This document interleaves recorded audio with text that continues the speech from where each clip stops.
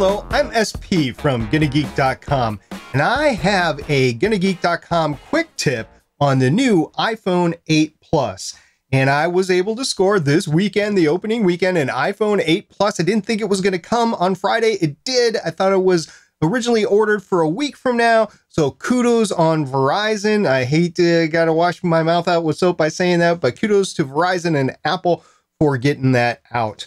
So thank you very much. It is the 256 gigabyte version, and it is a iPhone 8 Plus with just the black, the space gray, I believe they call it. And it came as a surprise. So I immediately ordered a QI charging port. This is the Anker PowerPort QI and 12 watt wall charger. I don't know why it's and and it's the ampersand. I'm not sure. It seems like it's poorly worded for me, but I don't care because, quite frankly, it works, which I'll show you in a second. So this is a wireless charging plate, my first ever. I know other phones have had it before, so this is not revolutionary, but it's new to me. So I got one of those, and I got a OtterBox commuter case with it. I've had the OtterBox commuter cases since the iPhone 4S, and they've been really good to me, so I got one. But just in case it didn't work, just in case it didn't fit, which is kind of ridiculous because it's the same as the iPhone 7, but just in case it didn't, I got a Caseology Legion case as well, which is basically the same. It's a lot of rubber, a lot of plastic in two pieces.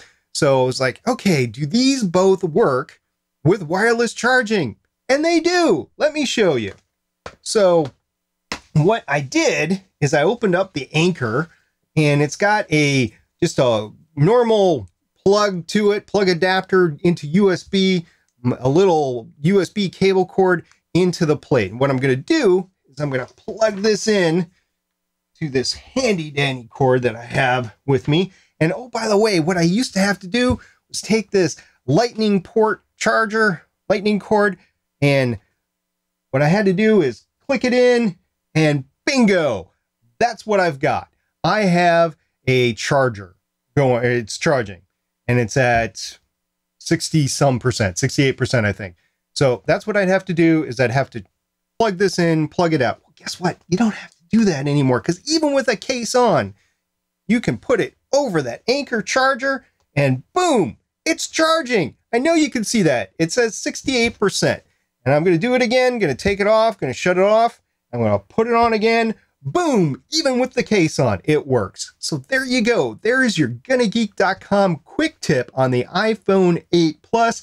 It wireless charges on an Anker QI charging pad with a plastic and rubber OtterBox commuter case on it. It does the same thing with the Legion case. For time's sake, I'm not going to put it on there, but well, maybe I'll do it in the post. So just just wait a second and you might hear it. Until then, I'm SP from GonnaGeek.com, and thanks for checking in. If you have any questions, leave them in below on the comment section, and we'll get back to you as soon as we can. Thanks. Bye.